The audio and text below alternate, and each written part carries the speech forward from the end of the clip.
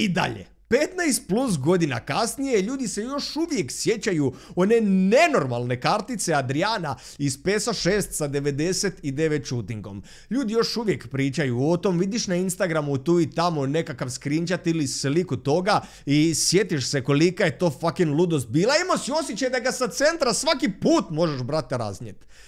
I zato, pozdrav ekipa, što ima radim se da imate apsolutno brutalan dan, uskoro smo na 300 tisuća pretplatnika, još samo par tisuća fali, pa ako niste, svakako se pretplatite na kanal, onda će vam stizati i obavijesti kad izlaze novi videi, a ja vam danas pokazujem sve FIFA 23 dizajnove i moja predviđanja ko će biti najbolji igrač u igri, koje će biti nove ikone i kako će to sve izgledat. A zašto sam uopće krenio sa Adrianom i sa tim velebnim 99 shootingom?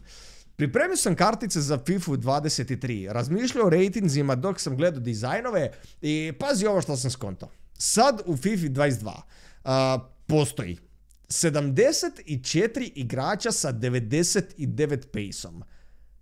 Znači, 74 kartice trenutno postoji sa maksimalnim paceom najvećim mogućim. A oko 300 kartica ima 95 plus pace. Preko 80 igrača ima 95 plus shooting. Samo, samo 5 igrača, 5 igrača je sa 99 passingom, ali pazi ko su ti igrači. Mats Hummels, Declan Rice, Amadou Diawara, Fabian Ruiz i Messi. Oliti ga. Od njih 5, 99 zaslužuje jedino Messi na nekoj kartici. Preko 25 igrača ima 99 dribling.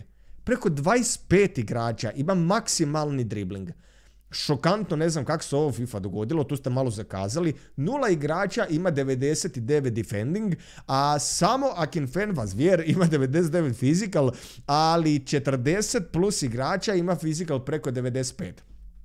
Ako ćemo gledati sve atribute na kartici, preko 90, znači svih šest, preko 90 ima 9 igrača, a sve preko 85 na kartici ima 60 igrača. Sad sam vas doslovno izubio sa random as fuck statistikama, ali ono što je moja poanta zapravo bila je da je vrlo lako moguće da FIFA stvarno, da EA stvarno mora malo smanjiti doživljaj jer nakon Team of the Year kartica kao da se ono puste slanca i, i krenu nemilo tarupa. Ti dobiješ 99, ti dobiješ 99, svi dobiju 99, evo brate, svi dobiju 99. I onda se dogodi to da već bude peti, šesti mjeseci, brate, ono svi su kao na steroidima. Čisto, zaboravio sam uopće pokazati, ne znam jeste li znali, ali ovaj retro dres koji nosim od Brazila, on doslovno je od Adriana. nisam uopće razmišljao o tom do sad, sad mi je palo na pamet kad sam se samo vidio u, u, tom dresu, a sad idemo na, na te kartice kako izgledaju i na, i na, na stvari za FIFA 23. Prvo da vam odmah pokažem uh, taj Adriano. On bi bio savršen za Foot uh, Hero karticu. Uh, ovo je jasno samo moj koncept i ovo apsolutno ne znači da će on biti u, u FIFA 23, ali da bude ovakav bio bi jedan od omiljenih igrača. Adriano bi bio fucking boleština. Kad smo već kod Foot Hero kartica, e, bit će dvije vrste Foot Hero kartica. Ove normalne i Foot Hero World Cup kartice za svjetsko prvenstvo koje će izaći nešto kasnije. I vidjeli smo tri kartice u onom mini izdanju kad je bio FIFA trailer. E, vidjeli smo Karvalja, vidjeli smo Jaju Turoja i Sunga ili tako nekako, ne, ne, nekog smo vidjeli. A obje kartice izgledaju vrhunski, ja sam ovdje stavio Diega Forlana, jer on ju zaslu... E, da, da, FIFA, what? Prije nego krenemo na Forlana i na tu karticu koju sam njemu napravio, uh, tek sam kasnije skonto kao da uopće postoje dvije razne vrste kartica. Da postoji FIFA World Cup, odnosno Foot Hero World Cup kartice i ove normalne. I ove World Cup kartice su kao Ture i, i, ovaj Karvalju i ostalo, a u opisima im je na je stranici, na FIFA stranici stajalo šta su radili za svoj klub. Kako to ima smisla FIFA? Kako? Na koji način to ima smisla. Ali da zanemirimo to, ja sam stavio Forlana jer 2010. je doslovno ubio na svjetskom prvenstvu sa Urugvajom. Uh, pet komada je zabio, od tih pet komada jedan je izabran za gol turnira, za najljepši gol svjetskog prvenstva i osvojio je zlatnu loptu za najboljeg igrača svjetskog. Znači niko nije zabio više golova od njega i bio je najbolji igrač na svjetskom. A pogledajte malo samo golove na YouTube, pišite World Cup Forlan 2010. i ako, znači čovjek je nerealan. 99 longshot on zaslužuje definitivno. Poslije toga onda prelazimo na ikonske kartice. I ne znam jeste li skontali uopće, ali dizajn se nastavlja s kartice na karticu u određenim situacijama. Vidite ove linije sa Gold i Team of the Week kartica kako se sa desne strane prebacuje na lijevu pa onda nastavlja u istom smjeru. Mali fun fact, fora, fora izgleda jer očito je da je zna napraviti kartice da prodaju ih više, ali servere ne znaju. Poboljšajte ih za FIFA 23, brate. A ja sam za ikonu napravio očito Robena, jer je on ikona koja zaslužuje biti ikona 10 10. Sa Bayernom je osvojio osam naslova prvaka, osvojio je jednu ligu prvaka, osvojio je sa Chelseaom dva naslova Premier Ligi, osvojio je sa Realom La Ligu, o kupovima i super kupovima koje je sve osvojio, to da ne pričam. E, toliko je dobro da je dva put morao brat otići u mirovinu. Weak Foot bi bio kriminalan, definitivno, sa desnom jedva zna u busuć, ali skill i work rate u napadu bi bili strašni. Sad da se prebacim, pošto smo prošli ove ikone i hero kartice, idemo onda na aktualne igrače. E, krećemo sa once to watch karticama koje FIFA daje određenim igračima koji su napravili transfer preko ljeta, a te kartice once to watch dobijaju i upgradeove kako ti igrači dobijaju Team of the Week kartice. I mogle bi realno ove sezone biti brutalne. Prošle godine smo imali i Ronalda, prošle godine smo imali i Mesija, ali ove godine imamo i Lewandowskog, i Haalanda, i Nunjeza, i Sterlinga, i Manea, i Delikta, i Jezusa. Tu su nažalost i Lukaku i Pogba i Čua meni je u Realu to isto super cool stvar. Ima jako dobrih transfera ovo ljeto i ovo bi mogla biti stvarno super kartica. Ja sam ovdje stavio Sterlinga, i stvarno bi moglo biti uh, jako dobro. Što se tiče Team of the Week kartica, tu sam stavio Nunjeza. Uh, Team of the kartice mi izgledaju clean as fuck, jako mi se sviđa ovaj dizajn, zapravo svega mi se sviđa dizajn. Uh, nadam se samo, ko što si svake godine, nadam da će Team of the Week imat smisla.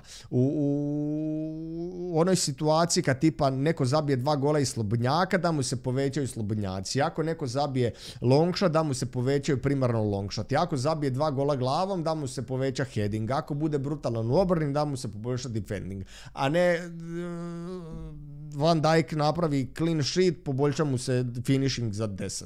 Ne, nema smisla. A onda nakon tog idemo na moje mišljenje za najbolje kartice u FIFA ove godine.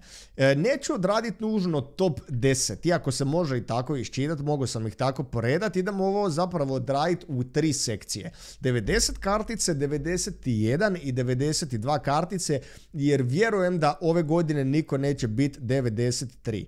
Ali ajmo redom. Uh, što se tiče 90 kartica, tu su neke kartice kao Neuer i kao Kane uh, koje vjerujem da se ratingom neće promijeniti, da neće ići ni gore ni dole. Ali recimo tu imam Sona i Alisona i Van Dijka uh, za koje mi se čini da dobijaju plus 1 jer do sad su bili 89, a zaslužili su definitivno jedan dodatni bod na ovom ispitu. Van Dijk je dvije sezone za redom bio 90, ali su ga onda za ovu godinu nakon što je prošla bila puna ozljeda smanjali na 89 i sad nakon opet super sezone vjerujem u povratak na stari rating. Uh, I zadnja 90 kartica koju sam tu stavio je Haaland koji bi bez problema mogao dobiti plus 2 u odnosu na prošlu godinu. To bi bilo sa 88 na 90 i, i ne bi me iznenadilo s tim da moramo se sjetiti da je Haaland za FIFA 22 skočio sa 84 na 88. Uh, to bi značilo da ako mu ja dam ovo da bi dobio plus 6 u dvije godine, ali u FIFA 20 e, je imao 73 silver karticu. Znači u, u par godina, u tri godine skoro plus 20 na, na kartici u FIFA i realno apsolutno je zasluženo. A ovo jasno govori da će neki igrači past dole sa ratingom, jer čini mi se da više neće biti Kante 90, nego da će ga spustiti na 89. I isto tako čini mi se da Ter Stegen neće više biti 90, nego da će imati za jedan bod manje. A onda prelazimo na 91 kartice. E, tu mi se čini da veliki upgrade dobijaju i Courtois i Salah. Obojica definitivno zaslužuju 91, a obojica su u FIFA 22 bila 89. Mislim da nema nikakvog razloga zašto ne bi dobili ovakav upgrade. Za Kristijana mi se čini ove godine da ne ide nigdje. Već tri godine za redom ga ruše. 94 je bio u FIFA 19, u FIFA 20 je bio 93, pa 92 je bio u FIFA 21 i ove godine je 91 ubijaju ga nemilo, a on i dalje zabija. Pa vjerujem da će, bar ove godine zapravo da neće ići na 90, nego da će ostati. Veliki upgrade čini mi se da stiže Benzemi. 91 bi značilo da je i on dobio plus 2 rating, s tim da je on znao skakati za plus 3 po godini. Iz FIFA 19 u FIFA 20 je otišao, sa 84 na 87. A tu su i KDB i Neymar za koje mi se čini da ostaju na 91, da se oni baš neće mijenjati. I onda za kraj zapravo to sam vrlo vjerojatno u krivu, ali vjerujem da će Leva i Messi i Mbappe bit na 92, da nećemo imati jednu karticu koja je ispred svih. To bi značilo da će Mbappe dobiti plus 1, da će Mesija smanjiti za 1 sa 93 na 92, a da će onda Leva ostati na istom.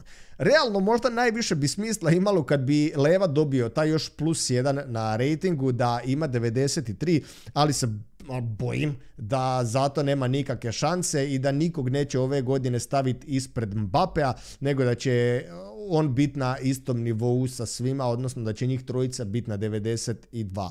To je to što se tiče mojih mišljenja. Vi mi svakako napišite svoje u komentarima, jer mišljenje je ko šupak, brate, svakoga ima. I većinom smrdi. to je to, ljudi moji. Ostavite like ako već niste, pretplatite se na kanal isto tako i ostanite brutalni. Vidimo se sljedeći put. Pozdrav!